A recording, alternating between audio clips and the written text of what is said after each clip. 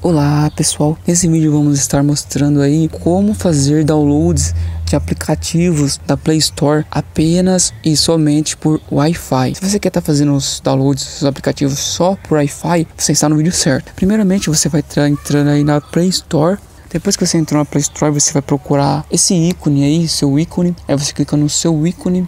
Depois você vai em configurações. Aí depois que você achou, achou configurações, você clica em configurações. Aí depois você vai clicar aqui ó, em preferências de rede.